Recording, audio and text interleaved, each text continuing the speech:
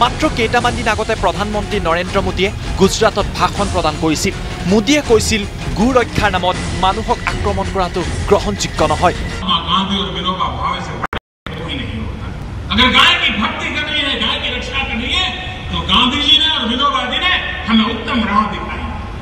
उसी रास्ते पर देश को चलना ही पड़ेगा भारत का संविधान भी हमें उसका महत्व समझाता है लेकिन क्या किसी इंसान को मारने का हमें हक मिल जाता क्या ये गौवत्य है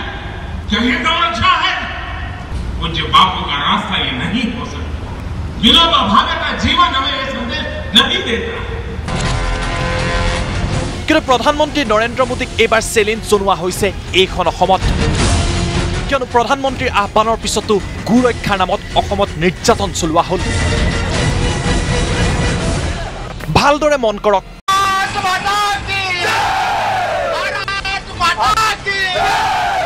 একাংশ লোকে চিঞৰিছে ভাৰত মাতা কি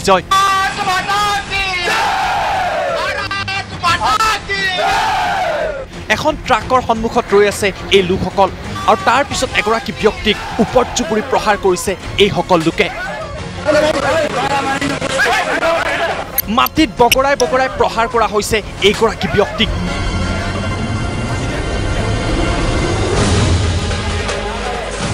গো ৰক্ষাৰ নামত ব্যক্তিগৰাকীৰ ওপৰত চলিছে আক্ৰমণ। এনেকুৱা ঘটনা হয়তো আপুনি উত্তৰ প্ৰদেশত দেখিছিল কিন্তু এইবাৰ এইখন অসমতেই সংঘটিত হৈছে এই জঘন্য কাণ্ড। এই ট্ৰাকখনতে একাংশ গৰু লৈ যোৱা হৈছিল আৰু সোণাপুৰত একাংশ তথাকথিত গোৰক্ষা বাহিনীয়ে এই ট্ৰাকখন জব্দ কৰে আৰু তাৰ পিছতে আৰম্ভ হয় ৰাইজৰ আদালত।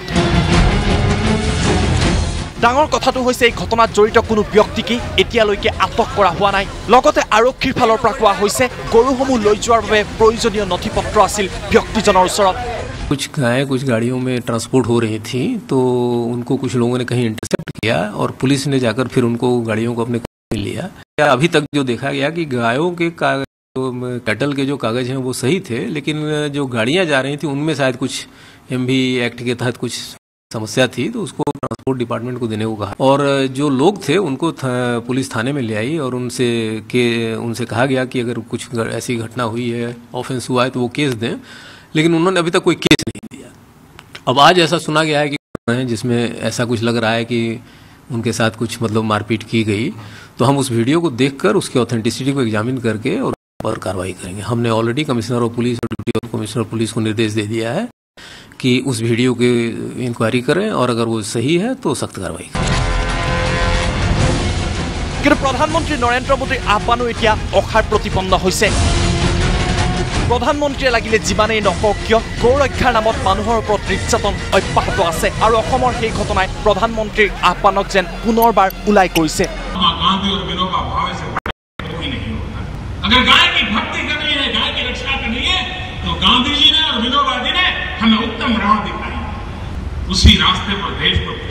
ही पड़ेगा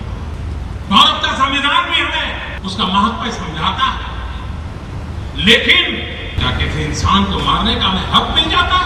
क्या ये गौवत्य है क्या ये गौरक्षा है पूज्य बापू का रास्ता ये नहीं हो सकता विनोबा भावे का जीवन हमें ये संदेश नहीं देता है এই ঘটনাৰ পিছত এতিয়া আৰক্ষীয়ে ব্যৱস্থা ল'বলৈ সাহস কৰিবনে নাই নে গৌ ৰক্ষাৰ নামত একাংশ সাধাৰণ লোকক এইদৰে নিৰ্যাতন চলাই যোৱা হ'ব Bureau Report, Assam Talks.